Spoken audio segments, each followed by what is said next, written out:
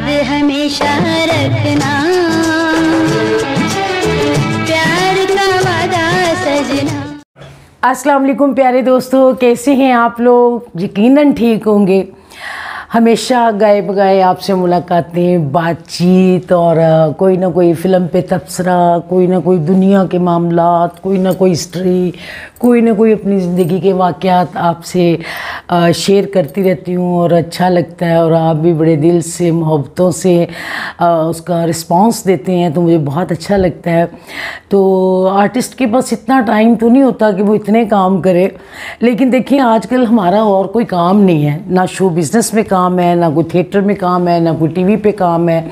तो फिर मैं ये सोचती हूँ कि चलें, कोई ना कोई दिल लगाने के लिए, कोई ना कोई बंदा मसरूफियात रखता है।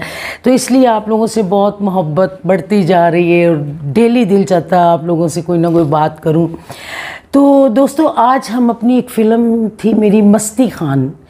कराची में वो फ़िल्म शुरू हुई और उसके प्रोड्यूसर थे असलम नाथा साहब।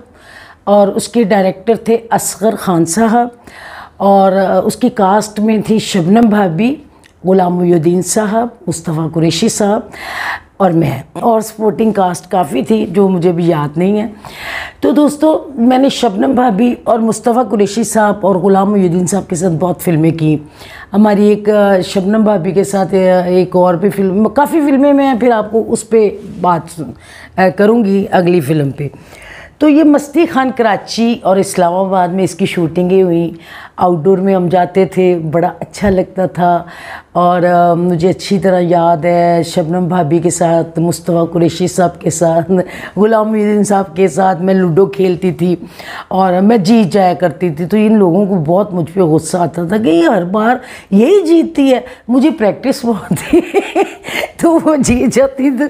लेकिन खेलते हम डेली थे जब आउटडोर जाते हैं तो और कोई मसरूफियात नहीं होती। कोई ना कोई जिसको कार्ड्स खेलने के शौक़ होता है वो कार्ड खेल लेते हैं कोई लूडो कोई तंबोला कोई, कैरम बोर्ड कोई ना कोई रात को क्योंकि फारग हो तो फिर दिल चाहता है कोई ना कोई हम लोग आपस में ना दोस्तों सारे आर्टिस्टों में कोई ना कोई हमारी गेम चलती रहती तो उसमें ना बड़ा अच्छा मेरा रोल था और मैं गुलाम मुद्दीन साहब की हीरोइन थी और शबनम बेगम मुस्तफ़ा कुरैशी साहब की हीरोइन थी और वो उसके प्रोड्यूसर इतने अच्छे थे। अब तो वो दुनिया में नहीं रहे, अल्लाह ताला उनको जन्नतों में जगह दें। इतने वो गुड पे मास्टर और इतने दिल से उन्होंने वो फ़िल्म बनाई कराची में हमने इतनी इतने बंगलों में शूटिंगें की इस्लामाबाद में जाके गाने किए और बड़ी आला फ़िल्म और बड़ी अच्छी मूवी थी। तो इसी तरह मतलब बहुत सारे वाक़यात होते हैं ज़िंदगी में वो यादें अब हमें बहुत याद आती हैं और बड़ा हम्म, सोचते हैं कि हम लोग कितने बिज़ी होते थे। तीन तीन चार चार पाँच पाँच डेली शूटिंगें करनी। और कभी किसी शूटिंग पे किसी आर्टिस्ट से मुलाकात, कभी किसी शूटिंग पे किसी आर्टिस्ट से मुलाकात। तकरीबन तकरीबन हमारी ये फैमिली होती थी। जैसे हम लोग रोज़ मिलना है, रोज़ फ़लाँ के साथ शूटिंग करनी है, फ़लाँ डायरेक्टर के साथ करनी है। और माशाल्लाह मुझे तो हर बंदा अपनी हर फ़िल्म में रखता था बड़ा इजीली क्योंकि एक तो मैं टाइम पे जाती थी, लोगों को मेरी ये बात बहुत पसंद थी। और दूसरी बात ये है कि मैंने हँसते खेलते काम करना, किसी से झगड़ा नहीं करना, किसी से ये नहीं पूछना, इस हीरोइन के कितने गाने और मेरे कितने गाने हैं, जबकि बाद में या उससे पहले भी ये दौर था, हीरोइनें पूछती थी, जी फ़लाँ हीरोइन के कितने गाने हैं? मुझे इससे कोई नहीं होता था। मैं कहती थी, फ़िल्म सुपर हिट होनी चाहिए, चाहे आपका एक सीन भी है तो आप हिट है। तो अगर आपकी फ़िल्म नहीं हिट तो आप पूरी फ़िल्म में गाने गाते जाएँ काम करते जाएँ तो आप हिट नहीं हो सकते। तो कोशिश ये करते थे कि हमारी फ़िल्म कामयाब हो। हमारे मतलब उसके हम अवार्ड लें और कंपटीशन बहुत होता था। बड़े स्टारों के साथ खड़े होने का मौका मिलता था और बड़ा अच्छा लगता था। ज़िंदगी में मैंने बहुत बड़े बड़े फ़नकारों के साथ काम किया। मोहम्मद अली साहब के साथ ग़ुलाम साहब मुस्तफ़ा कुरैशी साहब सुल्तान रईस साहब अ, वहीद मुराद साहब, फिर असमेल शाह, शान, अरबाज खान, आसिफ खान। मैं कहती हूँ कि मैंने इतना काम किया है कि ज़िंदगी बहुत हसीन गुज़री और बड़े वो लम्हात मुझे अभी भी याद आते हैं और मुझे बड़ा अच्छा लगता है। मैं कहती हूँ, देखिए, जब भी जितना भी हमने काम किया है, उस वक्त काम भी बहुत अच्छा था, दौर भी बहुत अच्छा था। तो इसलिए कि जब काम भी बड़ा सोच समझ के किया जाता था और हर बंदा दिल से काम करता था कि भी इसका अवार्ड लेना है। ये होता था, जब अवार्ड का बहुत ट्रेंड होता था कि हर एक्टर ये सोच के काम करता था, इस फ़िल्म का अवार्ड मुझे मिलेगा, मैं इस तरीके से काम करूँ।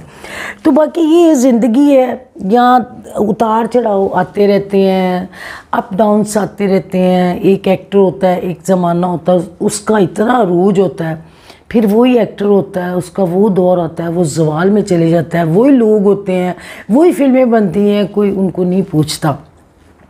तो दोस्तों, हमेशा ऐसे रहना चाहिए। काम हो या ना हो, फ़िल्म मिले या ना मिले, बंदे को एक जैसा अपना इखलाक मोहब्बत, प्यार, लगन, वही रखनी चाहिए। और शायद मेरी कामयाबी में ये मेरा बहुत बड़ा इसमें मुझे इस मामले में मैं समझती हूँ कि मैं जो अब तक आप लोगों को नज़र आ रही हूँ, इसमें मेरा ये है कि मैंने सारी ज़िंदगी सब लोगों से मोहब्बतों से रही हूँ और मोहब्बतें बांटी हैं और मोहब्बतें ली हैं। कोई ये नहीं कह सकता कि अगर दुर्दाना रहमान की कोई तारीफ़ नहीं करेगा ना तो उसकी बुराई भी नहीं करेगा। क्योंकि मैंने ज़िंदगी में सब लोगों से मोहब्बत की और रिस्पेक्ट की और सब लोग मुझे प्यार करते हैं, वो मेरी नेचर को जानते हैं और मैं जिससे भी मिलती हूँ, दिल से मिलती हूँ, अगर मुझे दिल से नहीं मिलना तो फिर वो मुनाफ्कत हो जाती है, मैं मिलती ही नहीं हूँ। तो लिहाजा मैंने देखा कि मेरे दोस्त ज़्यादा हैं और मुझे अपने दोस्तों पे फ़ख्र है और मैं बड़ी खुश नसीब हूँ। कि मेरे बहन भाई, मेरे दोस्त सब मुझे प्यार करते हैं और मेरे लिए दुआ गो हैं और उनकी मोहब्बतों की वजह से, आप दोस्तों की मोहब्बतों की वजह से आज अल्लाह ने मुझे एक नया अंदाज में आप लोगों के सामने अल्लाह ताला ने मुझे एक नया मुकाम दिया। और अब तो ये होता है ना कि इसमें भी कंपटीशन हो गया। कि मैं, मैंने यूट्यूब चैनल बनाया तो मुझे देख के कई आर्टिस्टों ने बना लिया।